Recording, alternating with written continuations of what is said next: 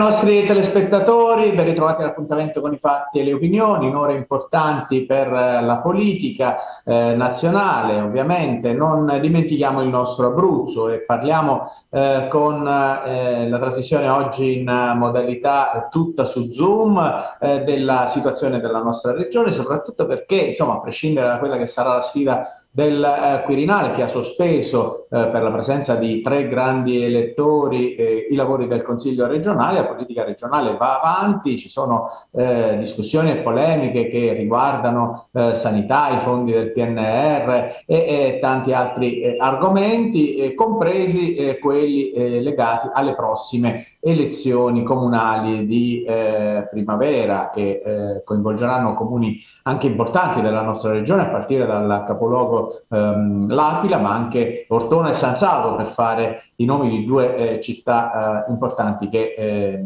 andranno al voto e per le quali ormai la corsa alle candidature è in fase eh, di definizione. Di questo parliamo con i segretari regionali delle principali forze politiche abruzzesi, eh, a cui quali sono impegnati in questo momento nelle votazioni del Presidente della Repubblica, quindi hanno delegato altri esponenti dei, eh, rispettivi, eh, dei rispettivi partiti. Diciamo, il Movimento 5 Stelle peraltro non ha un segretario regionale, quindi diciamo, è una funzione di rappresentanza che eh, né in questa trasmissione viene autorevolmente svolta da un consigliere regionale. Detto questo, io saluto e ringrazio gli ospiti che sono presenti in questa chat. Eh, appunto, eh, si tratta, ecco, siamo tutti eh, qui presenti, Michele Fina al mio fianco, poi c'è Giorgio Fedele, eh, sempre nella parte alta dello schermo, Movimento 5 Stelle, eh, Ethel Sigismondi, eh, segretario coordinatore regionale di Fratelli d'Italia e eh, il ehm, capogruppo di, eh, Lega, della Lega in Consiglio eh, regionale Vincenzo Ingecco. Io li saluto e ringrazio, ovviamente non possiamo tanto interloquire in questa, in questa, in questa formula, però insomma cercheremo di essere, di essere mh, comprensibili come insomma, eh, è, è, utile che sia. Eh, io inizierei proprio eh, con Ethel Sigismondi e voglio iniziare con Sigismondi perché eh, ieri peraltro è stato a Roma, non è un mistero, eh, lo ha eh, anche immortalato su Twitter questo suo caffè preso nelle more di queste ehm, elezioni che si susseguono per il capo dello Stato, perché a Roma c'erano, e per questo non sono presenti nella nostra trasmissione, anche i coordinatori eh, regionali delle altre forze del centrodestra, Nazario Pagano, Luigi Deramo. Ecco, questo caffè è servito per parlare eh, di situazioni regionali, come potrebbe essere un rimpasto di giunta, ma di questo ne parleremo magari più avanti, o soprattutto, e questo è il primo tema che voglio introdurre, delle candidature alle prossime elezioni eh, comunali. Qual è il punto della situazione, almeno in queste tre città importanti eh, di cui ho parlato prima, Sigismondi? Il centrodestra andrà unito con eh, candidati eh, a L'Aquila, a Ortona e a San Salvo? Avete deciso tutto ieri sera? Innanzitutto buonasera, grazie Carmine per eh, l'invito, grazie alla redazione di Rete 8 e grazie, un saluto anche eh, a tutti i colleghi che interverranno in questa trasmissione. Eh, sono Uh, momenti importanti per uh, la politica, si faceva riferimento a questo all'inizio di questa, di questa trasmissione e ogni occasione è buona per uh, occuparci del nostro Abruzzo e quindi, visti gli impegni dei colleghi Pagano e Deramo per l'elezione del Presidente della Repubblica, ovviamente li ho raggiunti per eh, parlare ovviamente della nostra regione, per parlare delle prossime elezioni eh, amministrative, perché mh, sono appuntamenti importanti. In provincia di Chieri si voterà per due comuni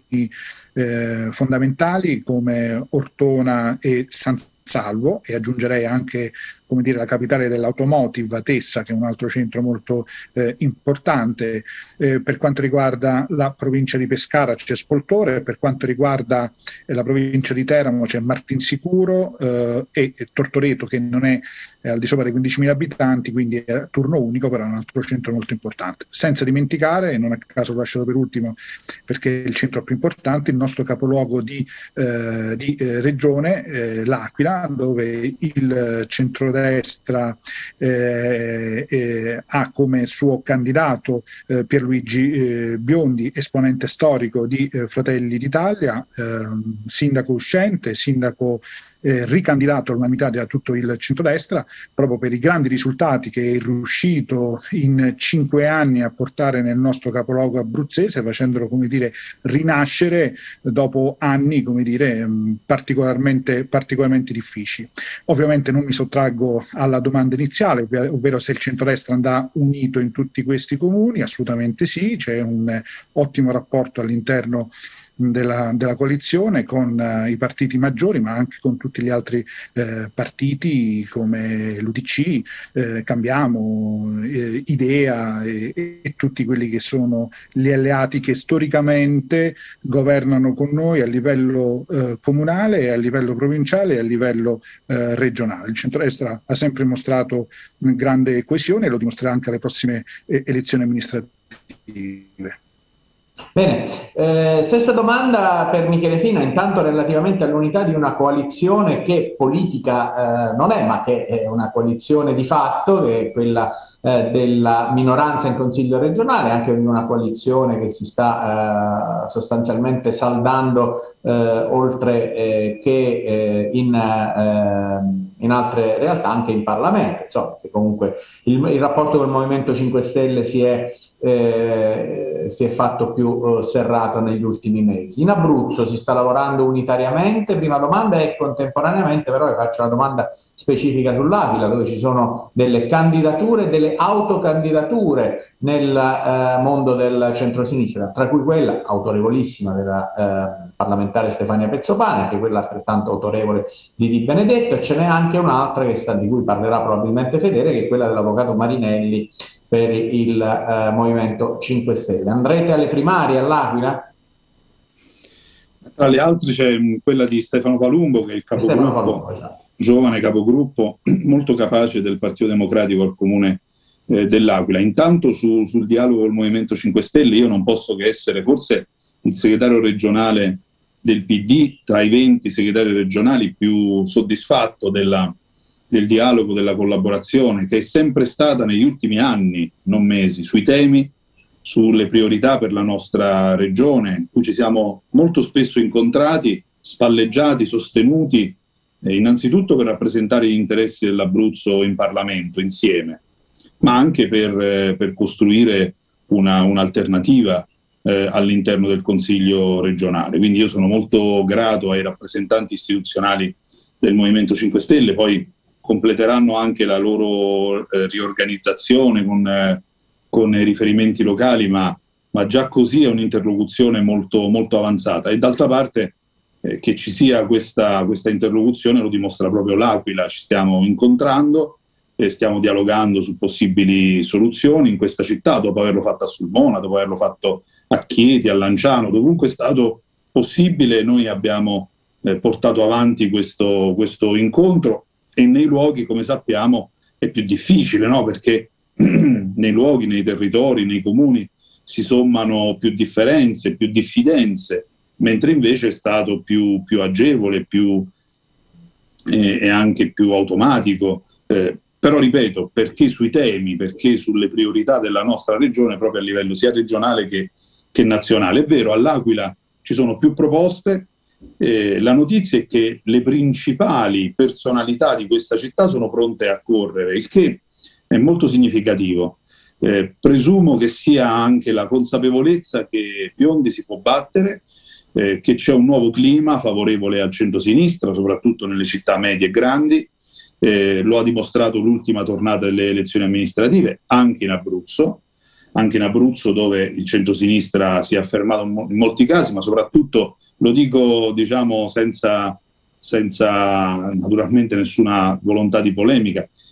La coalizione di centrodestra, nonostante è stata unita, si è proprio contratta in termini di consenso, consenso elettorale. Quindi io penso che questo possa essere confermato ancora più eh, in questo anno e poi a seguire eh, fino alle, alle, elezioni regionali che confido il centro-sinistra in un'alleanza con il Movimento 5 Stelle eh, potrà, potrà, vincere. Quindi eh, vedremo come selezionare alla fine queste candidature. Innanzitutto privilegeremo un dialogo tra le forze in campo, tra i soggetti politici, le forze politiche per arrivare a una sintesi.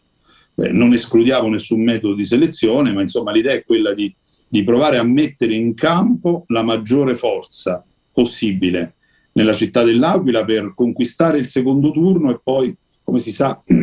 il secondo turno è, è, un'altra, è un'altra, sfida, uno contro uno, eh, conta molto, vorrei dire a Edel Sigismondi, naturalmente la cui opinione rispetto, che i dieci anni pre- precedenti all'amministrazione Biondi sono stati dieci anni di Massimo Cialente, che è stato il sindaco del terremoto, che è un monumento politico della nostra regione, forse la personalità politica più conosciuta, eh, vivente, più con, abruzzese più conosciuta in Italia, eh, perché ha affrontato un dramma eh, che non, non, capita nella vita politica mai, se non in casi eccezionali, ogni qualche secolo, e che lo ha affrontato con serietà, con determinazione, facendo naturalmente ehm, il meglio possibile in quella fase. Ci misureremo anche nelle altre realtà, sono convinto che potremo riconquistare San Salvo, ad esempio, parlo di una città che, che del Sigismondi conosce bene, oggi amministrata dal centrodestra, eh, ci misureremo nel, naturalmente, com, cercheremo di confermare eh, a Tessa, siamo, siamo convinti che sarà, che sarà, possibile. La provincia di Chieti è una provincia che è la più grande della nostra regione in cui il centrosinistra allo stato attuale ha il maggior numero di amministrazioni medie e grandi, tant'è che abbiamo vinto le elezioni provinciali e, cioè, con, con, un'affermazione molto, molto netta. E questo è un segnale molto importante perché anche la provincia più, più, più complessa e esposta nella fase della transizione industriale, quella che sta affrontando, lo leggiamo anche in questi giorni, eh, le, le, difficoltà no? Nel, nei processi produttivi, eh, che noi dobbiamo seguire con molta attenzione, no? perché eh, lì c'è il motore produttivo e industriale della, della, regione, della regione Abruzzo. Eh. Siamo convinti, ci batteremo a Ortona, siamo convinti di confermare l'amministrazione, la buona amministrazione di Spoltore, di presentare una nostra eh, ottima proposta a Martin Sicuro, quindi siamo, siamo, in competizione come lo siamo stati negli ultimi, negli ultimi anni e questo è, è senza dubbio un buon viatico perché la nostra è una regione fatta eh, di oltre 300 comuni tutti importanti e che insieme eh, debbono essere l'idea di una regione plurale, no? in cui si può essere cittadini della propria città insieme, insieme abruzzesi. E, questo, e questa capacità di sintesi noi la dobbiamo trasferire nella sfida del PNRR, la più importante del nostro tempo. Vorrei chiudere, direttore, su, su questo, questa prima riflessione. Io non ho... questo poi io farò una domanda specifica sul PNR. Perfetto. Okay. Eh, infatti volevo sentire, proprio restando sulle elezioni, eh, D'Incecco, rappresentante della Lega, partito che ha dato eh, segno insomma, nelle precedenti tornate eh, elettorali anche di grande generosità nel, nel, sostenere delle candidature di esponenti di altri partiti, pur avendo un forte peso elettorale in Abruzzo. Lo farà anche all'Aquila perché la Lega è d'accordo con la ricandidatura eh, di Pierluigi Biondi. Io gli chiedo appunto se invece ci saranno candidati della Lega eh, in questo giro, come si suol dire, in, in altri comuni importanti. Eh, penso per esempio proprio a Spoltore, che è un comune che lei conosce molto da vicino, essendo eletto in provincia eh, di eh, Pescara. Che test sarà eh, per gli amministratori della Lega questo eh, mini, mini, passaggio amministrativo di primavera in Abruzzo? Grazie direttore, un saluto a chi ci ascolta da casa e chi è presente questa mattina collegato con noi per questo dibattito sul, sulla regione e sulle amministrative. Beh, dopo due coordinatori regionali io non, certamente non mi posso sostituire il mio coordinatore regionale che è molto più addentro nelle questioni elettorali e amministrative e nei passaggi che eh, avete evidenziato anche in precedenza, visto anche l'incontro di ieri. Certamente lancio due o tre eh, riflessioni. È, evidente che il centrodestra andrà unito ovunque si voterà. È evidente che all'Aquila abbiamo eh, un'amministrazione uscente che ha eh, completato cinque anni con, con, grande impegno e con grande, con grande capacità di amministrazione. Eh, siamo certi che sulla figura di Pierluigi Biondi la campagna elettorale scorrerà in maniera lineare e soprattutto ci saranno messaggi di, eh, diciamo di, una, eh, di un futuro eh, di eh, ricrescita e di crescita per l'Aquila perché sinceramente in questi anni in cui l'ho frequentato ho visto una città in grande fermento e quindi mi pare di, eh, di capire anche delle parole del segretario del PD Fina che fondamentalmente l'obiettivo del PD è quello di raggiungere il secondo turno, quindi è evidentemente eh, già consolidata dall'Aquila e dintorni eh, la forza e come dire, la eh, determinazione della coalizione di centrodestra. Sarà importante eh, proporre ai cittadini un progetto di governo serio, efficace. Questo è quello che forse a volte in passato eh, non siamo riusciti a costruire nella fase preelettorale. Questo è quello su cui io farei una riflessione importante. I cittadini hanno bisogno in questo momento storico delle amministrazioni comunali di certezze, di impegni su cose semplici, su cose lineari, sulle attività quotidiane di tutti i giorni, sulla, necess- sulla manutenzione, sulla, sulla, cura della città. A volte eh, si perde la bussola su questi temi. Ecco perché io credo che il centrodestra dovrà, eh, oltre che pensare ai migliori candidati possibili, anche a scrivere dei programmi, un programma in ogni comune eh, costruito sulle necessità di quel territorio. Questo è il tema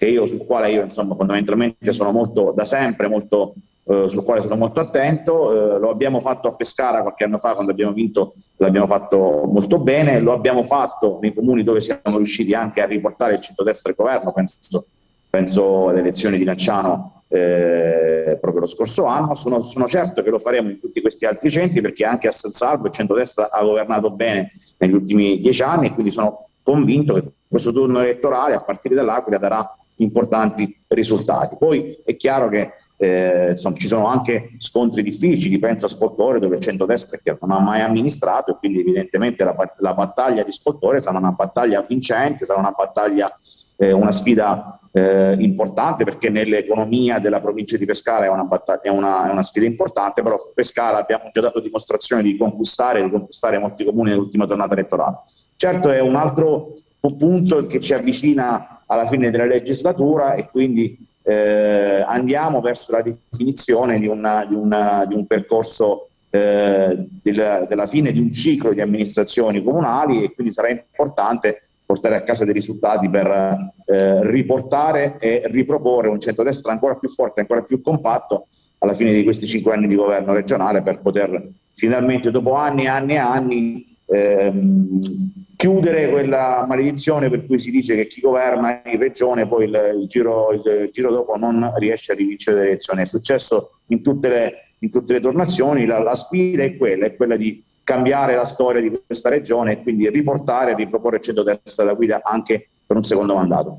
Bene, grazie Vincecco. Eh, Movimento 5 Stelle, Giorgio Fedele eh, storicamente ha avuto sempre grosse difficoltà alle elezioni amministrative. C'è stato però un segnale, quello di Sulmona, territorio che lei conosce bene, insomma, anche, in cui si è costruito sin dall'inizio un percorso eh, su una candidatura che poi è risultata eh, quella vincente con altre forze eh, del centro-sinistra in questo caso. Ecco, questo cantiere si sta riproponendo a suo avviso anche all'Aquila, in questo senso come Valetta la ehm, candidatura che nasce eh, su vostra proposta, anche insomma con la forte motivazione dell'avvocato Marinelli, personalità molto nota in città. Potrebbe essere lui il candidato eh, che unisce eh, anche una parte eh, del PD eh, che eh, è in discussione, come stava eh, spiegando apertamente anche Fina. Si potrebbe trovare la sintesi su di lui?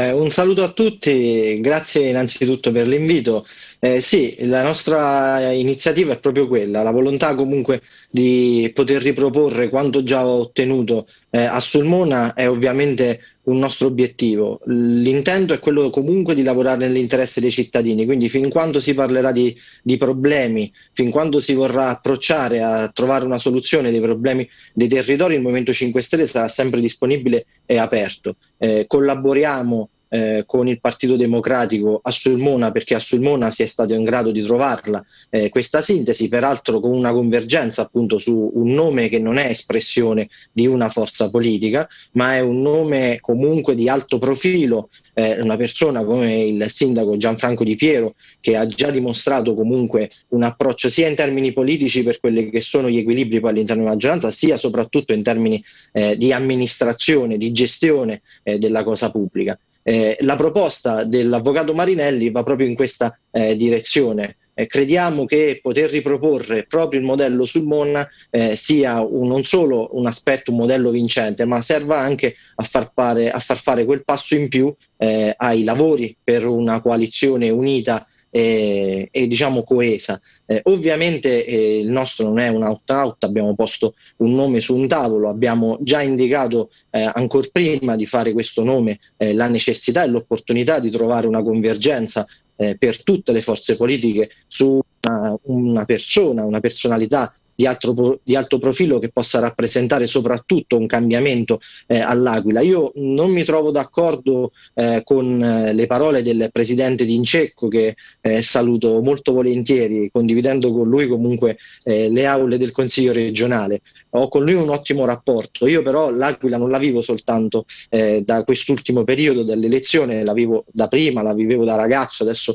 eh, la vivo da più tempo. Sinceramente questo fermento io non lo vedo, il fermento che c'è è molto il risultato di cittadini resilienti, eh, di cittadini, di persone che hanno saputo affrontare più di, una, eh, di un momento eh, di difficoltà e che hanno voglia di andare avanti. Io l'Aquila eh, la vivo da più tempo, la continuo a vivere vivere anche oggi, francamente vedo una situazione molto eh, bloccata, molto cristallizzata, con problemi vecchi che vengono trascinati eh, verso un futuro peraltro che pone delle sfide molto importanti e che non possono essere eh, perse. Una fra tutte è appunto quella del PNRR. Eh, la necessità, come dicevo all'inizio, è quella di saper dare un'alternativa. Il fatto che ci siano più nomi eh, per sfidare il centrodestra, per dare una nuova direzione all'Aquila non è soltanto, e qui mi trovo d'accordo con il segretario, eh, con Michele Fina, eh, non è soltanto la prova che questo centrodestra può essere battuto,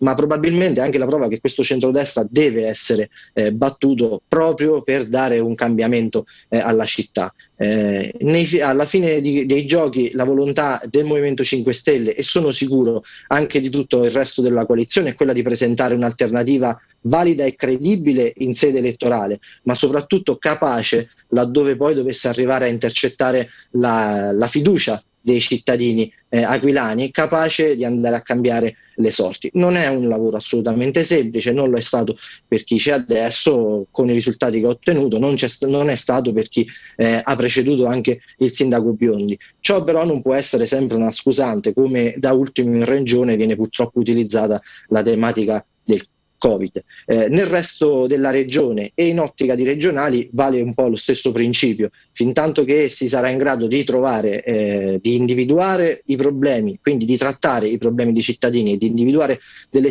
delle soluzioni, il Movimento 5 Stelle sarà sempre disponibile a collaborare, lo abbiamo dimostrato anche con senso di responsabilità, non soltanto con le interlocuzioni che ci sono state con il Partito Democratico e con il centro-sinistra, ma lo abbiamo dimostrato anche con un eh, grande senso di responsabilità nei confronti del centro-destra, quando purtroppo tutti insieme abbiamo dovuto affrontare quella che è eh, la pandemia eh, di Covid, quello che è questo momento eh, storico. Quindi l'approccio è, resta questo e sarà questo anche nel resto eh, dei comuni che si accingono ad andare eh, al voto. Ovviamente ogni comune ha una sua specificità territoriale, ogni comune ovviamente va preso a sé stante. Il nostro obiettivo però è quello di partecipare, di essere presenti e di poter offrire un'alternativa credibile in sede elettorale e poi concreta in sede di amministrazione. Bene, grazie Fedele. Eh, noi ci fermiamo per una prima pausa. Eh, Fedele ha anche introdotto il tema della pandemia e sarà proprio questo l'argomento dal quale riprenderemo parlando della regione. Linea alla regia per il momento. Siamo tornati in uh, collegamento con i nostri ospiti, stiamo parlando di uh, politica uh, regionale e appunto il tema della pandemia è sempre quello che eh, prevale, preoccupa e, e va monitorato eh, con grande attenzione, con quello spirito di cui parlava prima anche il eh, consigliere regionale del Movimento 5 Stelle Fedele, di collaborazione che non è mai mancato, bisogna dire, tra eh, maggioranza e opposizione. Poi però, e su questo sollecito Sigismondi, che è ovviamente l'uomo più vicino al presidente Marsiglio, eh, restano i problemi concreti. Il problema concreto, sollecitato peraltro all'attenzione di tutti anche questa mattina da una manifestazione degli infermieri è mh, per l'Abruzzo più che eh, i posti letto il problema del personale, personale eh, medico, paramedico, eh, OS, eh, che è veramente sotto stress da oltre un anno, totalmente insufficiente per la domanda ehm, ospedaliera e non relativa all'emergenza, ma anche all'ordinarietà eh, del, della pandemia, della, della, gestione della pandemia e di tutte le altre eh, patologie che rischia appunto di mettere in tilt anche con numeri bassi eh, una, una, situazione che per il resto, per quanto riguarda appunto i posti letto, è al momento sotto controllo. Ecco, questa è la vostra principale preoccupazione, poi anticipo anche quella che sarà così, insomma, riusciamo anche ad andare eh, sulle risposte anche a quello che dicono gli altri, sicuramente una, una, una, una sottolineatura che farà fino magari fedele, quella relativa al fatto che eh, il presidente Marsilio parla della pandemia utilizzando anche insomma, delle espressioni forti nei confronti eh, delle scelte del governo eh, centrale e, e, viene accusato di fare un po' più politica nazionale invece che eh, insomma, eh, rappresentare gli interessi della regione. Sigismondo.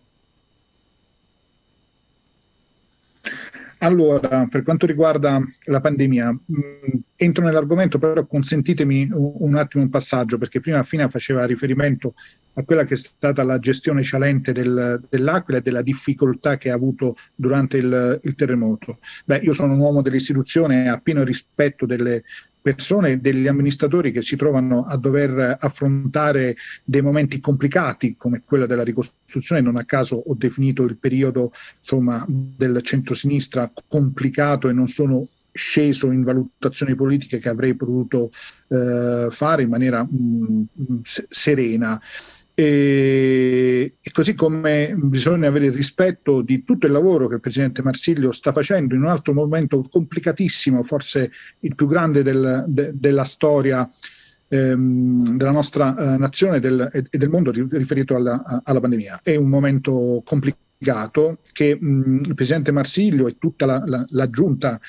sta affrontando con uh, grande, grande difficoltà perché oltre al problema uh, sanitario c'è un uh, problema di pandemia eh, e di crisi eh, economica, alla quale si somma anche un altro problema che è quello del, ehm, della crisi energetica che attanaglia, è un altro argomento che ci vede molto, molto preoccupati preoccupati perché rischiano veramente di mandare eh, in fumo eh, anni di lavoro e soprattutto costringere alla chiusura molte molte eh, aziende. Quindi insomma stiamo parlando di un, eh, di, di un momento veramente eh, difficile che il centro-est, il presidente della, della, della regione Abruzzo ehm, sta affrontando eh, a, a, testa alta avendo una interlocuzione con il governo nazionale. Ehm, quando qualcuno in maniera strumentale vuole cercare di dire che il Presidente Marsilio si occupa di,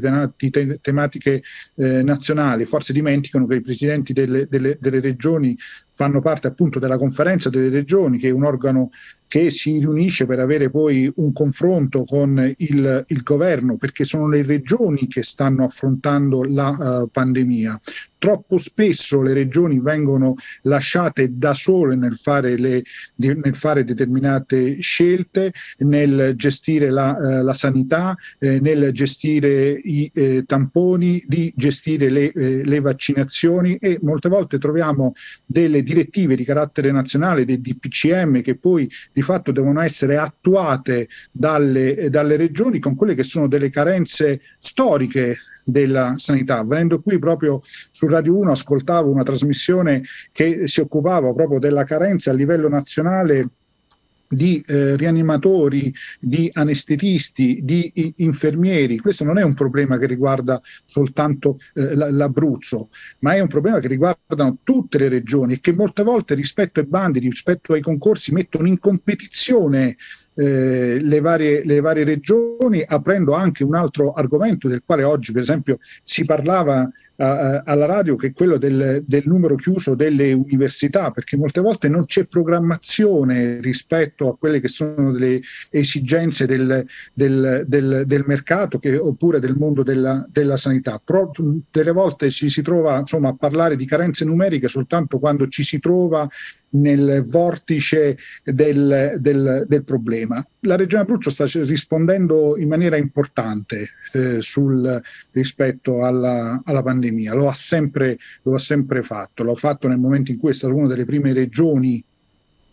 ad occuparsi del, dello screening sui territori. Non è un caso se la settimana scorsa abbiamo avuto eh, la visita della struttura commissariale nazionale che si è complimentata per i risultati che l'Abruzzo sta avendo per quanto riguarda le vaccinazioni ed è una delle prime regioni ad aver come dire, non soltanto a rispettare il target e averlo superato, anzi quadruplicato nelle settimane scorse, ma che sta vaccinando tutta la propria, eh, la propria, eh, la propria, mh, i, propri, i propri residenti. Ora sanitaria che non era che non era, e certamente non è colpa di eh, Marsilio che ha ereditato del centrodestra, che ha ereditato questa, questa, situazione, che non era pronta in Abruzzo come nelle altre regioni, lo voglio sottolineare perché insomma andare a fare eh, sciacallaggio su questo, su questo tema non mi sembra rispettoso e soprattutto non eh, mi sembra responsabile responsabile eh, rispetto a quello che abbiamo vissuto, abbiamo delle strutture sanitarie che non erano assolutamente pronte ad affrontare una pandemia per quanto riguarda il personale, lo abbiamo evidenziato, per quanto riguarda la strumentazione, per quanto riguarda le, le strutture. Rispetto a tutto questo l'Abruzzo si sta organizzando, eh, si è organizzata, eh, l'ha affrontata nel migliore dei, eh, dei, dei, modi e sta contestualmente anche, come dire, guardando lontano per quanto riguarda anche eh, l'organizzazione sanitaria in Abruzzo. Non, eh, non è un caso che eh, stiamo affrontando un argomento dove tutte le altre amministrazioni regionali, come dire, eh, sono eh, scivolate e che hanno deciso di, come dire, eludere e non affrontare, che è l'organizzazione della rete eh, ospedaliera, perché una sanità funziona nel momento in cui viene organizzata sui territori, dove a ogni territorio data, vengono date ehm, vocazioni, vengono date strutture e vengono dati presidi che possono essere di, ehm, di pronto eh, soccorso, di, della cosiddetta rete urgenza e, e contestualmente anche strutture che possono dare risposte. Eh, eh, parlo di ospedali, a quelle che sono le attuali eh, esigenze. Tutto questo sta facendo il centrodestra, sto facendo, lo sto facendo in maniera importante con l'assessore eh, Verì della, della, Lega, che voglio ringraziare perché è stata un'altra di quelle persone che è stata in prima, eh, in prima linea e eh, lo vuole fare insomma, sottoponendo anche la nuova rete ospedaliera al un confronto con, eh, con eh, il centrosinistra, troppo spesso i giornali per dire che la sanità non, non, funziona, dimenticandosi che forse che la sanità che abbiamo ereditato è quella che ci hanno lasciato e che evidentemente se avevano delle ricette opportune e idonee per la nostra regione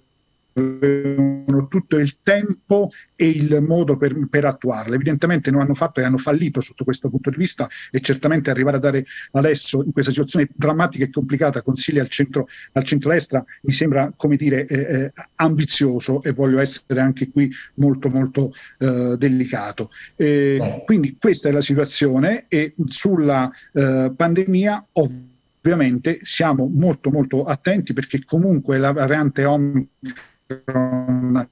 è una variante assolutamente molto molto contagiose. Abbiamo il problema delle scuole, anche lì quando si fa polemica con il governo nazionale non si fa in maniera strumentale per rappresentare un partito, si fa perché poi dalle scuole, dai genitori, avvengono, la sicurezza delle scuole dal governo non è arrivata, perché per esempio quello che potrebbe essere strutture per il ricircolo dell'aria sarebbero state fondamentali, non si poteva dire apriamo le finestre nelle, durante l'inverno, c'è tutto il problema della questione legata ai, ai trasporti, che anche lì non sono state arrivate delle, delle risposte. Quando la regione, quando il presidente presidente della regione, rappresentando tutti gli abruzzesi, tutte le categorie che chiedono maggiori risorse, lo fa soltanto per dire non lasciate da sole le regioni, non lasciate da sole le regioni. Le regioni stanno sostenendo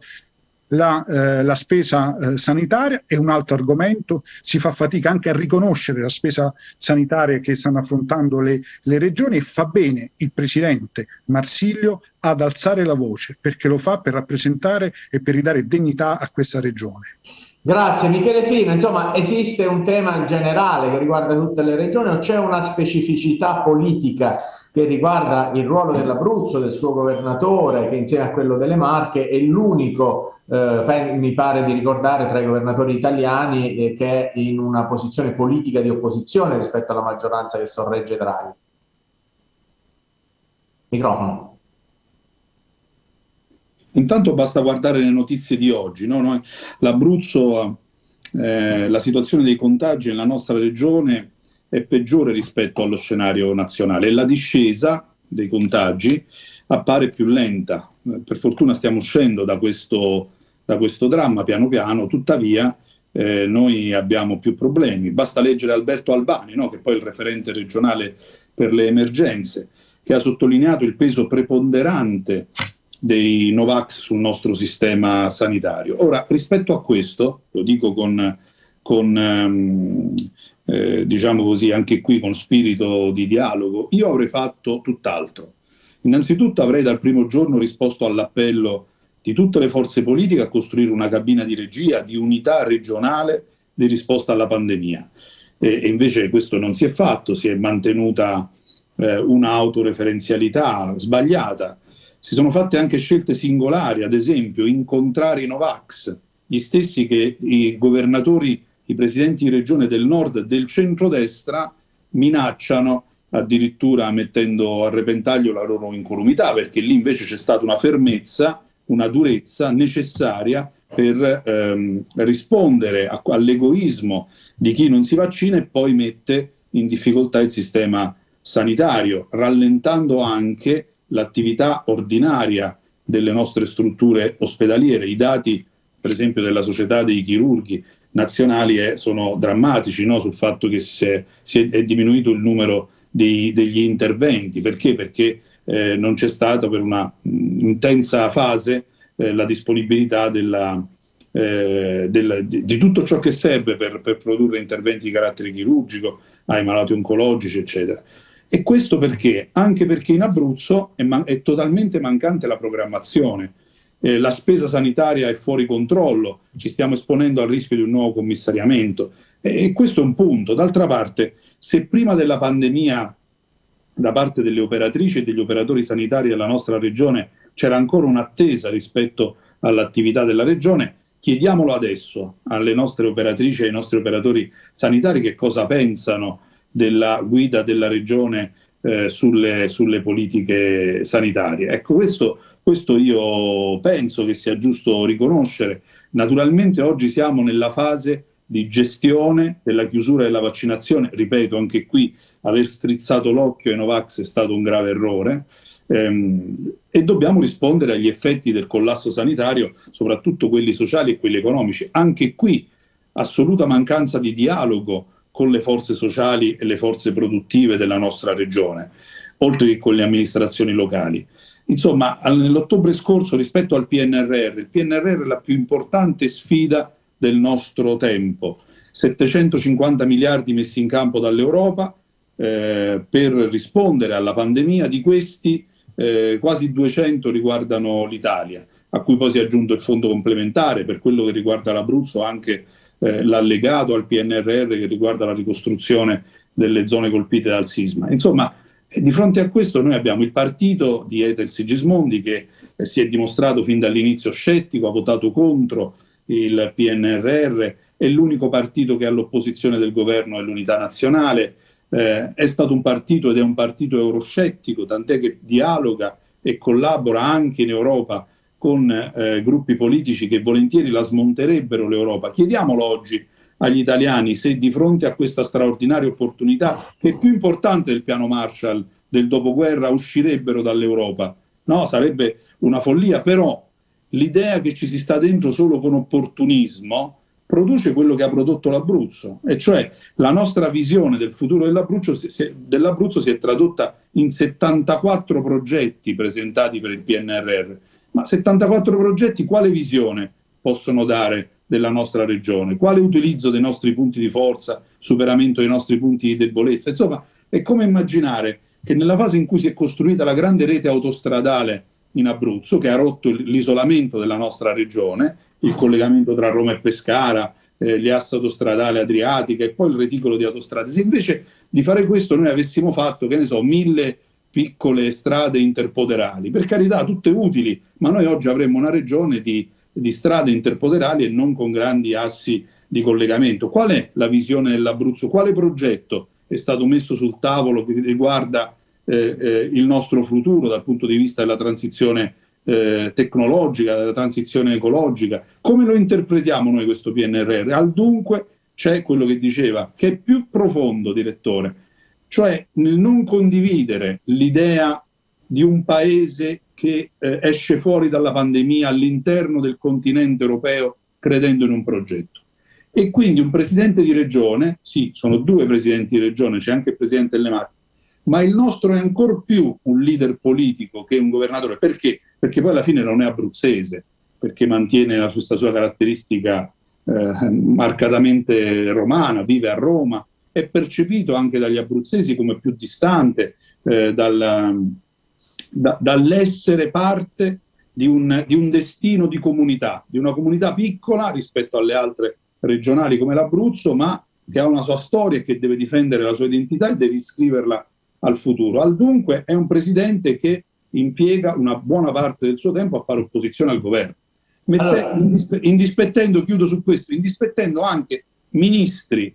di questo governo che fanno parte di partiti della sua maggioranza, compreso la Lega e, e, e Forza Italia. Ma quale miglior eh, impiego del proprio tempo se si è presidenti di regione che collaborare, anche sollecitare, per carità, anche criticare se serve, ma sui temi che riguardano l'interesse della propria regione, non la polemica sui Green Pass fatta su, facendo iniziative in Toscana, andando nei tv nazionali, da solo come presidenti di regione, e i presidenti di regione di centrodestra in Italia sono 15 su 20. Quindi io penso che questo, questo abbia determinato, soprattutto questo, la percezione di una distanza da parte degli abruzzesi di questa guida regionale. Allora, eh, fermo restando che poi il tema del ehm, eh, PNRR sarà oggetto di un ulteriore giro, quindi Sigismondi in particolare avrà la possibilità di replicare punto su punto a quanto ha detto Pina. Io tornerei però sul tema della pandemia con Vincecco per affrontare l'altro versante, che è quello del sostegno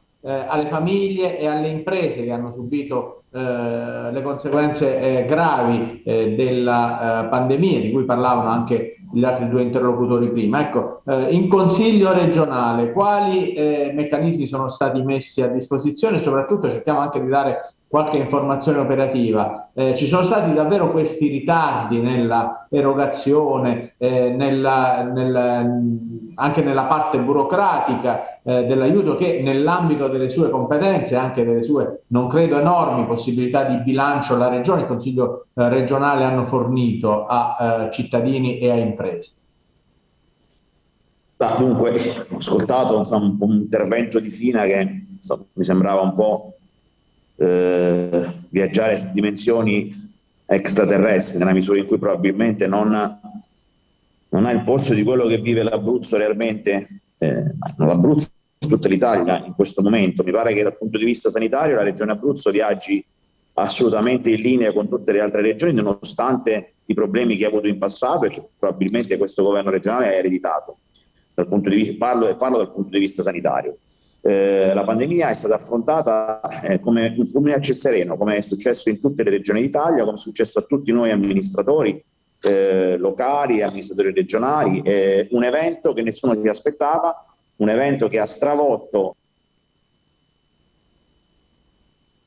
eh, la possibilità di governare normalmente eh, come dire, le attività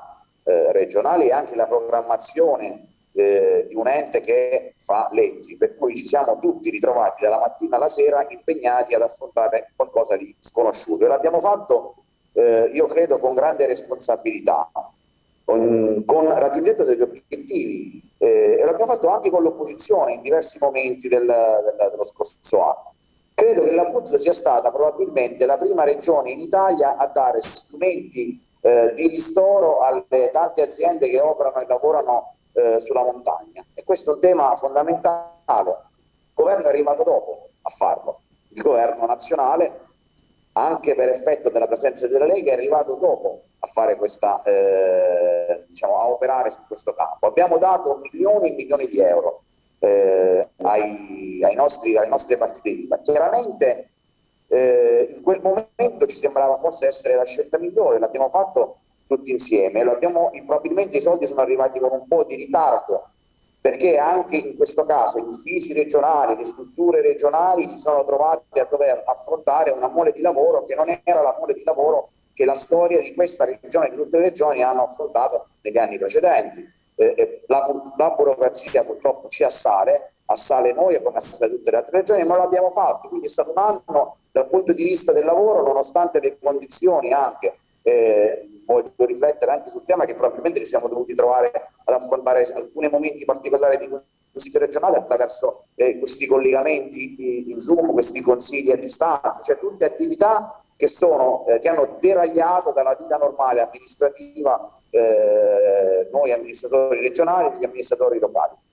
ho sentito cose folli sul tema dei rapporti con i comuni. I comuni abruzzesi fanno screening in collaborazione con le ASL quotidianamente. Io sono testimone eh, del, di un rapporto stretto tra le ASL e i comuni che costantemente eh, operano insieme appunto alle strutture regionali per poter fare effettuare screening costanti. Probabilmente in alcuni momenti abbiamo subito anche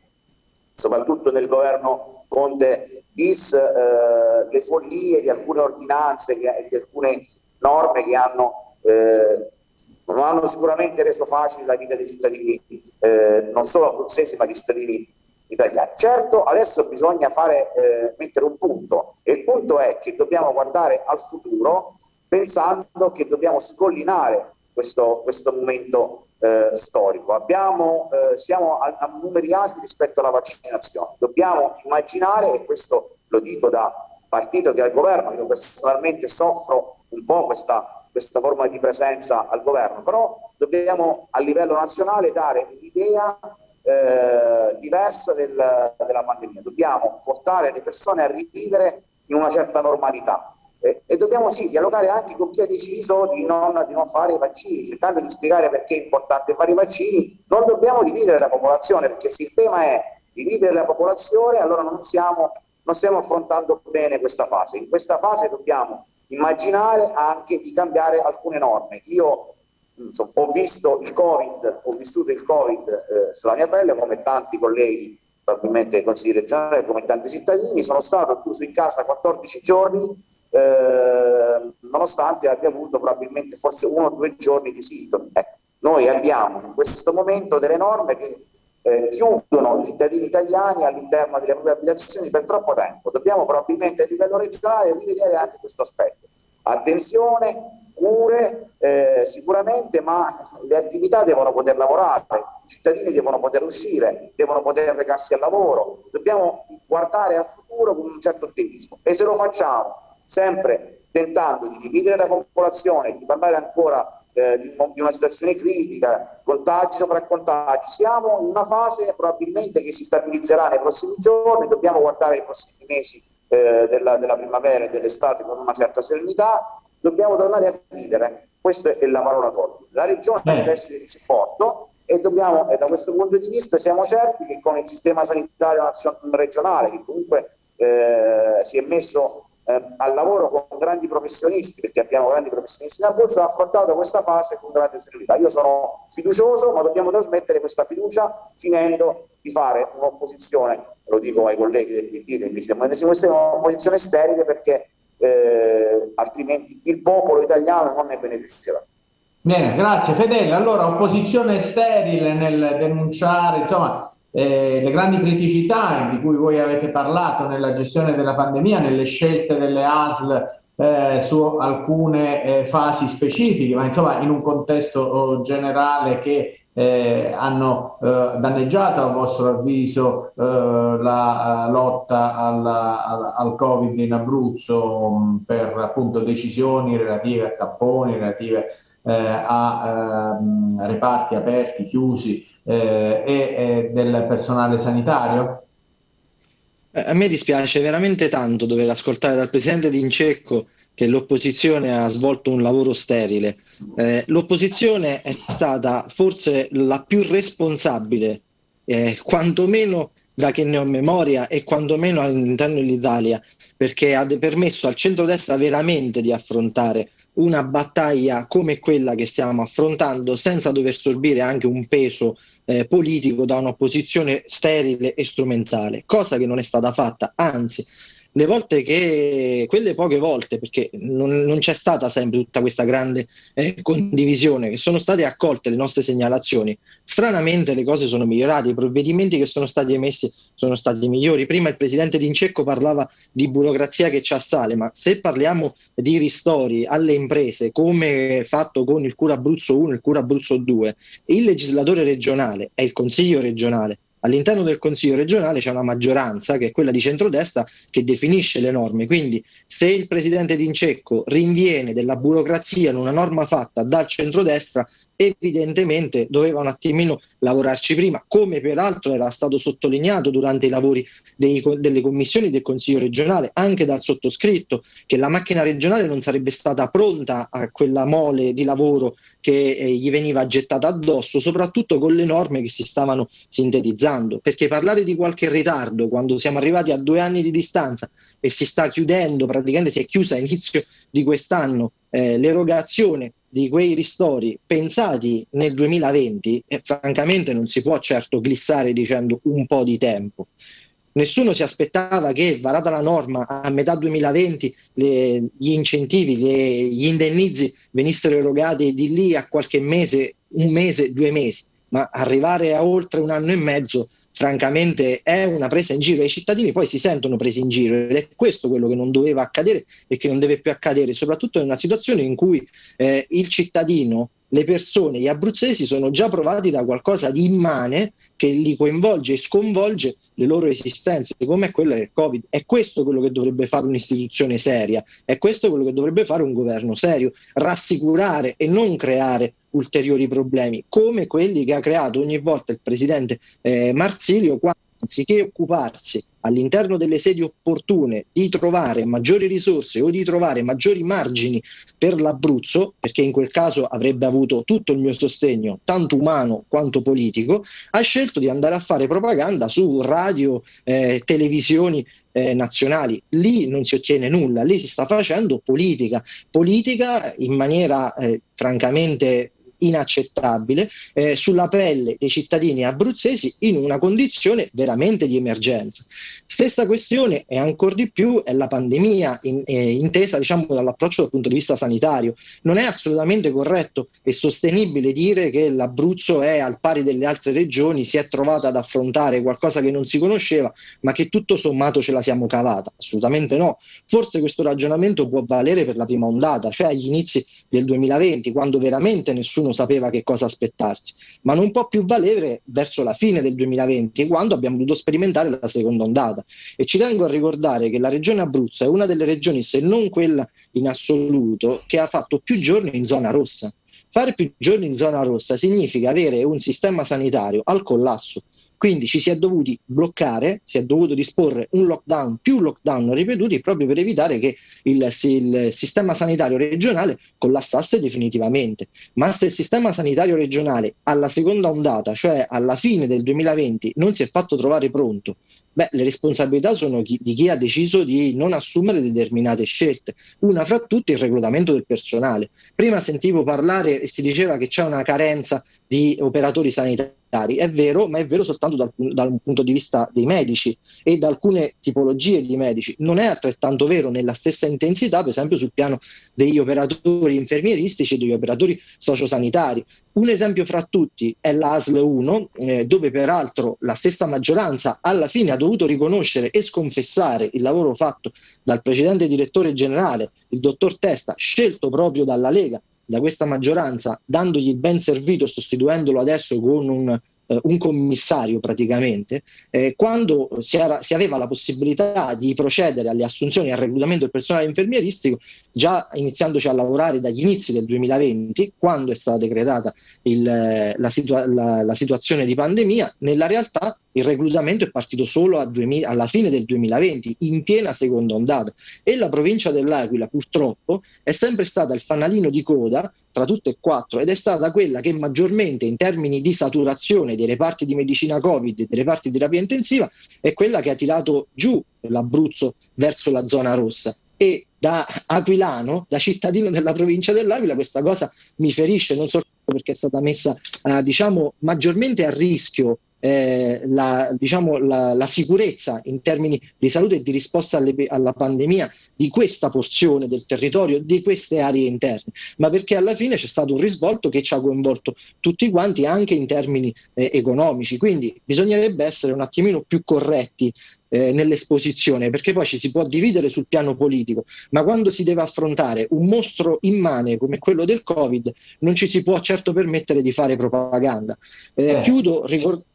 Chiudo ricordando proprio sul piano eh, sanitario che il Covid va affrontato e va sconfitto, ma non si deve dimenticare tutte quelle che sono le prestazioni ordinarie. E se si può avere un uh, dubbio su come poteva essere o meno affrontato prontamente il Covid, eh, questa emergenza, questo dubbio non lo si può avere assolutamente sul piano della programmazione. Abbiamo delle liste d'attesa che sono completamente bloccate. Nel 2022, a questo punto devo usare la forma dubitativa, probabilmente il Consiglio regionale eh, approverà eh, la rete ospedaliera 2019-2021 cioè approveremo qualcosa che è già da rifare, eh, siamo stati praticamente tre anni senza rete ospedaliera utilizzando quella del precedente governo, ma la rete ospedaliera è solo una piccola porzione del piano sanitario, manca tutta la fase, tutto la, l'aspetto territoriale, della medicina territoriale, manca la, la parte della socioassistenzialità. Mm. Adesso è, è arrivato in commissione il piano sociale, anche quello 19-2021, quindi c'è un immane ritardo sulla programmazione.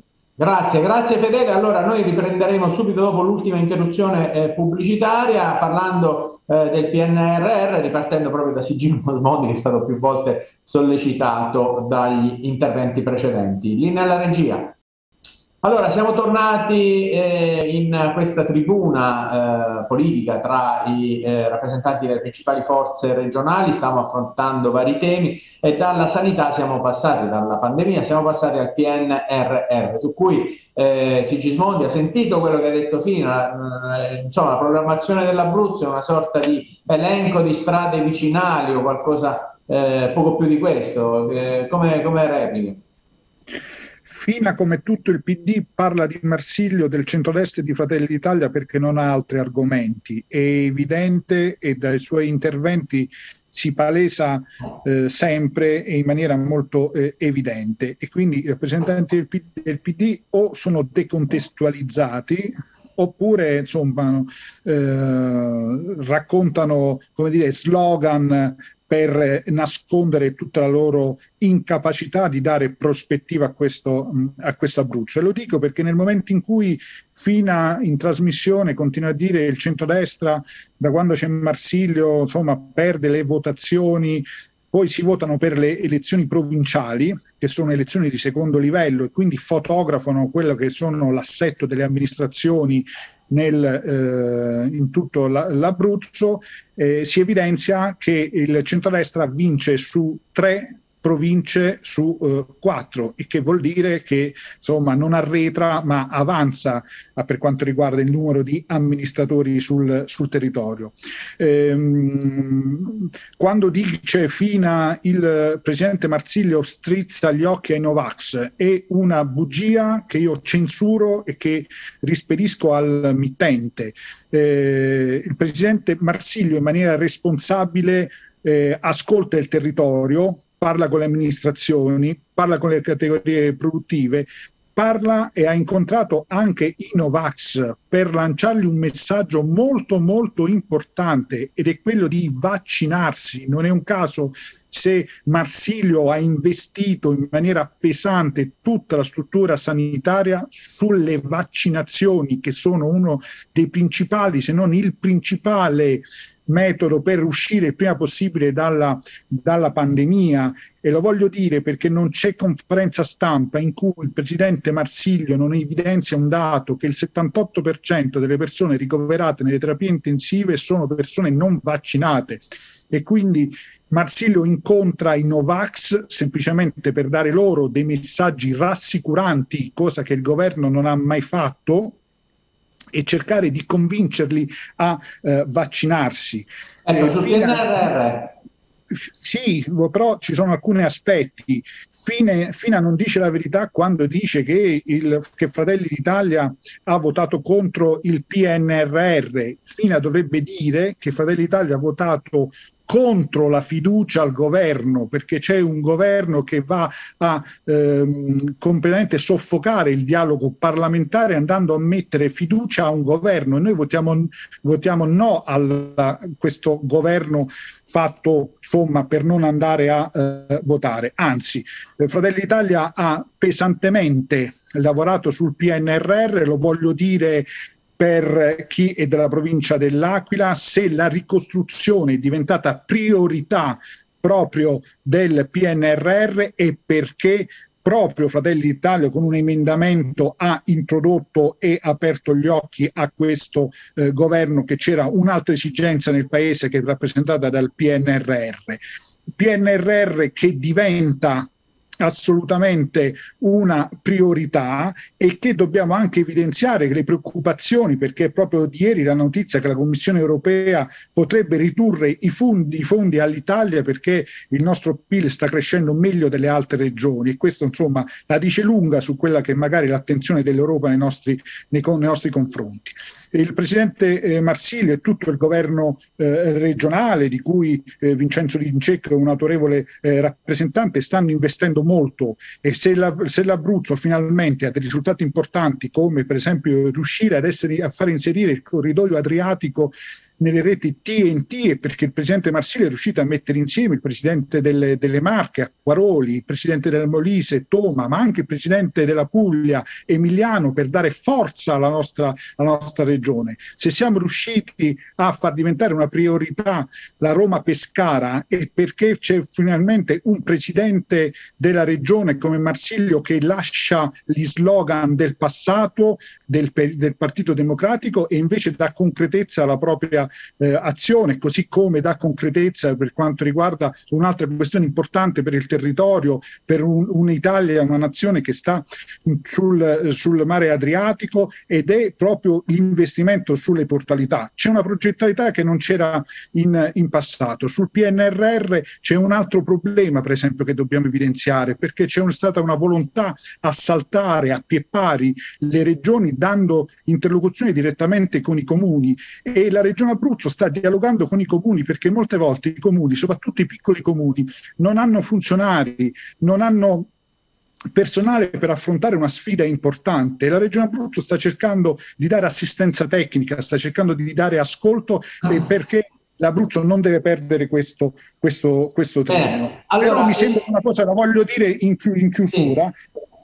è che insomma il centro-sinistra e, e, il Movimento 5 Stelle fanno un attacco continuo al Presidente perché magari ha una visibilità anche a livello nazionale, perché fortunatamente per la prima volta abbiamo un Presidente della Regione, uno dei migliori che l'Abruzzo mai ha avuto, che è passato dall'autoreferenzialità del, del, passato a un'autorevolezza e il Presidente della Regione Abruzzo è diventato un punto di riferimento a livello nazionale per la conferenza delle regioni. Questo deve fare onore alla nostra regione, so che dà fastidio a chi invece ha un ruolo di opposizione in questa regione, ma è così, finalmente abbiamo un Abruzzo autorevole e questo lo dobbiamo al Presidente Marsilio. Ecco, allora Fina, il centro-sinistra e l'opposizione non hanno un leader da opporre a Marsilio in questa visibilità di cui parlava eh, Sigismondi. Intanto è vero, non abbiamo gli stessi slogan. Eh. Intanto è vero, noi non abbiamo gli stessi slogan di Marsilio, anche perché per fare una battuta i suoi hanno un pesante accento romanesco che è difficile da imitare, da abruzzesi. Eh, senza dubbio abbiamo, abbiamo una classe dirigente plurale e i consiglieri regionali, lo ha dimostrato prima Federe nel suo intervento molto pacato ma anche molto concreto nel merito delle questioni, stanno mostrando la capacità di essere alternativa. Eh, un'alternativa che innanzitutto lavora per l'Abruzzo. Ora eh, che adesso Etel Sigismondi citasse l'allegato al PNRR di un miliardo e 700 milioni come risultato di Marsilio è veramente comico. È, una, è, è un lavoro che abbiamo fatto noi, che abbiamo voluto noi, che sta guidando nella cabina di regia Giovanni Legnini, abbiamo lavorato noi a che si mettesse in campo il lavoro di questa struttura commissariale. Gianni Anastasio, il sindaco eh, del Partito Democratico di Pizzoli, coordina i sindaci, tutti i sindaci del, del, del cratere e, e, questo è un lavoro che abbiamo, che abbiamo svolto noi. Ora, eh, Biondi in questo è bravissimo all'Aquila, e cioè ogni giorno rivendica un risultato del governo dicendo io ho scritto una lettera io avevo, infatti, io avevo scritto una lettera per sollecitare che si facesse questa cosa. Sì, ma tra lo scrivere una lettera e il fare un provvedimento stando al governo, approvare un emendamento, proporlo in Parlamento, è una differenza tra chi fa una cosa e chi la chiede solo, magari la chiede dopo che è stata fatta. È vero, il PIL cresce nel nostro paese, siamo uno dei paesi che sta meglio rispondendo a questo. Perché? Perché c'è un buon lavoro di unità nel governo nazionale. Quando Etel Sigismondi e Marsilio attaccano insistentemente il governo nazionale, se lo dovrebbe ricordare Vincenzo D'Incecco, che abbiamo capito non è molto contento del fatto che la Lega sia al governo, ma fa parte del governo di questo paese, così come Forza Italia. Quindi è un attacco anche ai propri alleati. Ed è una, la, il, l'aver votato contro, l'essere stati scettici in generale sull'Europa e sul PNRR, è perché questo è stato un importante risultato del Conte 2, degli accordi del luglio di due anni fa, che hanno consentito oggi al Paese di avere queste risorse. Le difenderemo, anzi, io penso che noi dobbiamo batterci perché siano strutturali, ma per la prima volta ci sono oltre 200 miliardi messi per, in campo per il nostro Paese o come diciamo fondi diretti o come prestito garantito da tutti i paesi dell'Europa. Questo è il sogno europeo così come lo abbiamo costruito e anche grazie all'Europa noi stiamo risolvendo risolvendo la sfida delle reti TNT. Anche qui una sfida che è stata portata avanti, unica l'Abruzzo, insieme dalle forze sindacali e le forze di categoria, che noi abbiamo sostenuto, il Movimento 5 Stelle, il PD, le altre forze di centrosinistra, eh, e che invece il, il, governo regionale non ha voluto sottoscrivere, per esempio, quando c'è stato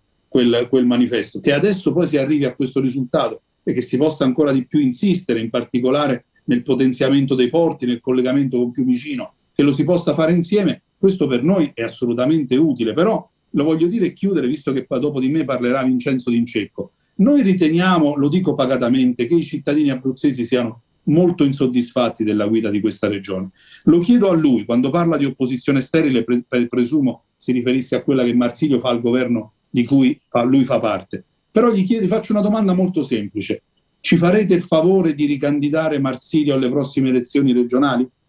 Vabbè, questa è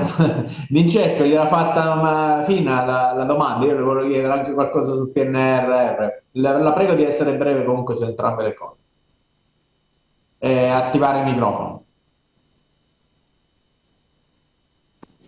Cercherò di, es- cercherò di essere molto breve. Eh, mi fa piacere che il segretario regionale del PD si sia trasformato in conduttore della trasmissione al posto suo, direttore, quindi oltre a rispondere anche, pone anche quesiti e domande. Io mi soffermo su questioni politiche, amministrative e regionali, perché non sono colui che decide chi dovrà essere il candidato eh, della regione Abruzzo. E quindi premesso che ritengo che questa regione stia facendo molto di più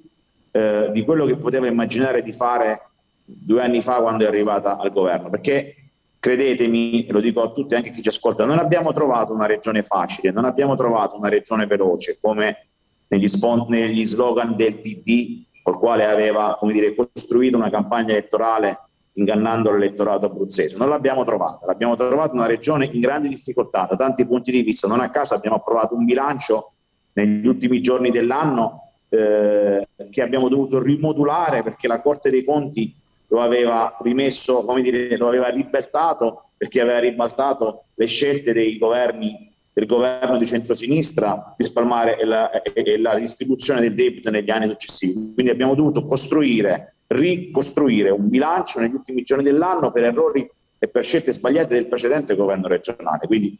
dico al segretario del PD che non abbiamo trovato una regione facile, non abbiamo trovato una regione veloce e che stiamo lavorando perché questa regione eh, riesca in qualche modo, e lo abbiamo già fatto, a colmare il divario con le altre regioni, quel divario che è stato costruito dal PD eh, e soprattutto dal PD e dai cespugli intorno al PD.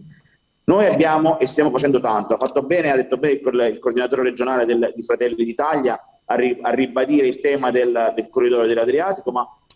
voglio dire che noi abbiamo in pancia, in itinere, in percorso delle leggi importanti, il testo unico sul turismo, eh, il piano sociale che, sta, che è già approvato, è approvato in, in, in commissione, la rete ospedaliera perché voglio ricordare a, a, coloro che hanno urlato e strillato in questi, eh, in questi, mesi che noi nella rete ospedaliera, nel progetto di rete ospedaliera, abbiamo ridato importanza a quegli ospedali minori nei territori, nel, nei, nei territori che il PT del precedente governo regionale e nazionale aveva distrutto e disintegrato. Quello stiamo facendo e stiamo cercando di fare. Noi della Lega stiamo cercando anche di raddrizzare il governo nazionale, perché è evidente rispondo al PD e poi cerco di arrivare a conclusione, che insomma, preferirei stare in un governo senza speranza e la Morgese, ma non è che lo preferisce la Lega o Vincenzo Vincecco, credo che lo preferiscano milioni e milioni di italiani questo. Milioni, la stragrande maggioranza degli italiani non vorrebbe un ministro della salute che si chiama Speranza, che è espressione di un partito che non esiste. Eh, milioni di italiani non vorrebbero una politica come quella che fa la Morgese. Noi purtroppo cerchiamo, stando al governo, di limitare gli errori che sarebbero stati clamorosamente più gravi. Ci riusciamo in buona, in buona parte, spesso non riusciamo ad arginare quelli che sono i disastri di alcune parti, di alcuni pezzi di questo governo. Detto questo, e chiudo dicendo che sul PNRR faremo il meglio possibile, lo stiamo già facendo, 85 milioni di euro sul ciclo idrico, idrico integrato, perché non ricordiamoci che, non dimentichiamoci che noi abbiamo una grande difficoltà come regione sull'approvvigionamento dell'acqua e, ci, e abbiamo proprio qualche mese fa ricevuto 85 milioni di euro sul ciclo, sul, sul ciclo idrico integrato e questi soldi serviranno anche a sistemare le condotte evitare le varie perdite d'acqua per creare meno problemi ai cittadini abruzzesi. Queste, come tante altre, eh, tante eh. altre risorse, riusciremo a impiegare bene. Io sono convinto che nei prossimi mesi questo governo regionale darà una spinta più importante alla regione Abruzzo. Adesso lo chiedo anche a Fedele che cosa c'è, che cosa manca nel PNRR per l'Abruzzo e soprattutto eh, quali sono appunto eh, le tempistiche del eh, termine adesso eh, molto di moda e abusato della messa a terra di questi progetti. Fedele. Certo, direttore, mi permetta soltanto di fare una sottolineatura perché eh, dover ascoltare dal eh, dottor eh, Sigismondi che gli investimenti che sono stati fatti e che finalmente vengono fatti dopo oltre 30 anni sulla tratta ferroviaria Roma-Pescara sia un risultato del presidente Marsilio, eh, francamente posso solo che sorridere per quanto amaramente. I cittadini abruzzesi questo lo sanno che è un gioco, è una butade quella che appena fatto il, um, il dottor eh, Sigismondi. Eh, la realtà è che è dal 2010 che il Movimento 5 Stelle ha come bandiera la velocizzazione della tratta Roma-Pescara. Ci sono stati eh, momenti dell'anno scorso in cui tutti i consigli regionali e tutti i parlamentari del Movimento 5 Stelle abruzzesi giornalmente non facevano altro che fare il punto sulla situazione degli interventi che si dovevano fare prima con l'accordo eh, governo RFI e poi con il PNRR per gli interventi sui lotti del, del, del, del, progetto di fattibilità che è stato realizzato. Li abbiamo visti, sono arrivati 451 milioni di euro, dire che merito del presidente Marsilio significa vivere su Marte a questo punto. Sul PNRR la realtà è che eh, le, le, risorse che ha citato il presidente D'Incecco, stranamente ad oggi, eh, nel 2022, sono le uniche arrivate in Abruzzo e il rischio, e lo dico veramente con l'amaro in bocca di chi purtroppo conosce le carte e conosce la situazione e quindi non è così difficile saper fare uno più uno, è che l'Abruzzo resti veramente tagliato fuori dal PNRR. Un conto, come diceva il segretario Fina, un conto è fare una letterina, farci propaganda, farci un comunicato stampa. Un conto invece è saper redigere un progetto, avere una visione, metterla nero su bianco e presentarla secondo le tempistiche e i canali necessari. L'Abruzzo da questo punto di vista è veramente, veramente messo a rischio. Rischiamo di non riuscire a rispondere a tutti i bandi ai quali avremmo avuto bisogno di rispondere. Uno su tutti, il primo bando che è stato fatto in campo di PNRR riguardava l'agricoltura, che è uno dei settori per noi enormemente trainanti, soprattutto eh, per eh, l'area interna, per la provincia dell'Aquila riguardava la conservazione e l'impiego proprio della risorsa idrica dell'acqua il, eh, la Regione Abruzzo non è stata in grado di presentare neanche un progetto, non c'è neanche un progetto all'interno dell'elenco e questo è veramente uno dei casi limiti ed estremi. Poi bisogna prendere i casi in cui i progetti vengono presentati, ma siccome non hanno una visione, sono eh, rionali, neanche settoriali, sono rionali, talmente piccoli, non raggiungono il punteggio minimo per essere finanziati e quindi l'Abruzzo ha partecipato ad un bando, ma non ha ricevuto alcuna risorsa, con un danno enorme dato il contesto storico storico e data l'enorme occasione che l'Abruzzo ha. Per cui parlare di tempistiche eh, quando addirittura è messa eh, in dubbio la stessa possibilità di, di riuscire a intercettare delle risorse fondamentali per la nostra regione è praticamente Bene. impossibile. Bene, allora io ringrazio Giorgio Fedele, ringrazio eh, gli altri eh, esponenti politici eh, delle forze principali eh, che hanno partecipato a questa eh, tribuna. Naturalmente eh, noi parliamo dell'Abruzzo anche in momenti in cui i temi eh, politici sono, sono indirizzati su altri, su altri, forse anche più rilevanti per l'opinione pubblica argomenti, però è proprio bene non spegnere i riflettori su quella che è la vita eh, di tutti i giorni di questa regione e quali sono gli argomenti che riguardano eh, il presente e soprattutto il futuro. Io per questo li ringrazio eh, per la eh, partecipazione, naturalmente ci diamo appuntamento alle prossime occasioni per quanto riguarda la nostra trasmissione a venerdì prossimo, sempre alle 22. Grazie a eh, Andrea Di Fabio in regia e una buona notte a tutti, arrivederci.